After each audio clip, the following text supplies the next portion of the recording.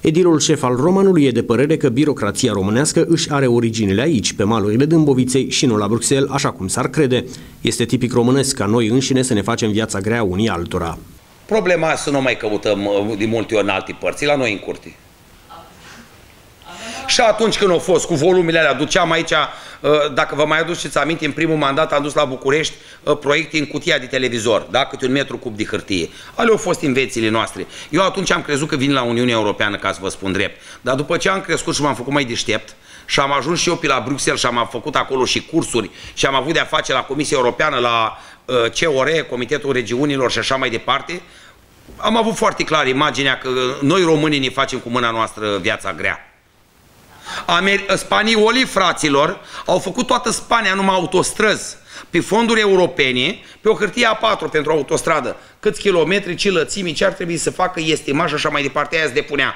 Spunea, da, e eligibil, este de importanță, este satisfăcută oportunitatea și necesitatea. De-abia pe urmă au început să facă uh, SF-ul, PT-ul, pe banii lor, pe banii lor. Noi facem SF-urile și PT-urile pe banii noștri și dacă vor fi eligibili, luăm banii înapoi.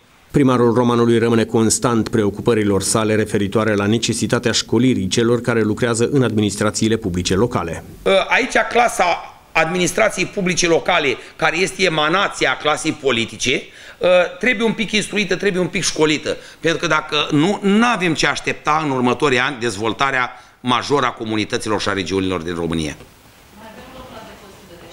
Până la sfârșitul anului, maxim. De asta am spus că eu mă preocup deja să vedem o decizie trebuie să o luăm.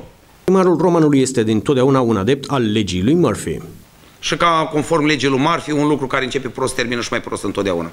Inginerul american Edward Aloysius Murphy, mort în 1990, a considerat legea ca un principiu de bază al proiectării preventive în care trebuie asumate cele mai defavorabile condiții de operare și funcționare și s-a opus interpretării într-un mod amuzant al legii.